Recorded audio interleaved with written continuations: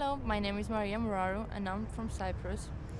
I'm 22 years old. Uh, I'm currently studying NCB shipping at uh, Frederick University and um, I'm looking forward to finish my studies and uh, make a career. The reason because I want to do that is actually because I want to build a future, a good future for me and my family.